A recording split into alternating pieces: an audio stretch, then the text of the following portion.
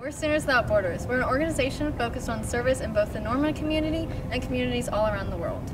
So usually what we do is every year we go on an international trip to help communities in need, but this year we decided to foster connections with local communities and we're staying domestic this year's trip. We're going to a Native American reservation, the Pine Ridge Reservation in South Dakota.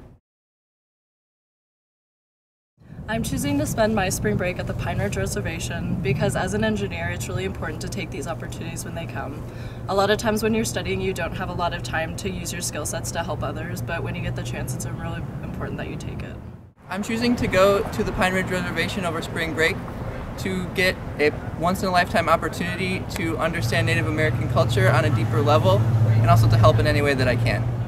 Have a great learning experience outside of the classroom um, because spring break is such a great opportunity to do that um, when you don't have all these pressures from learning from textbooks and in class from professors. You can just kind of immerse yourself in a whole uh, world that's kind of different than your own. So it's a great opportunity to kind of maybe step outside of the box and definitely um, grow as an individual and establish great relationships with some really neat people that I'm sure I'll meet there.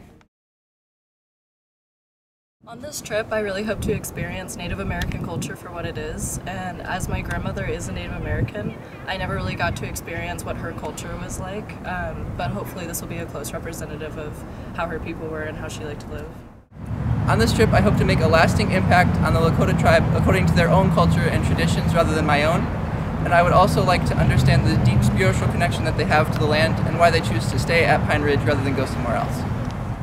Some things I'm looking forward to are kind of uh, establishing relationships um, with the Lakota people and um, learning about their culture and language and um, style, lifestyle.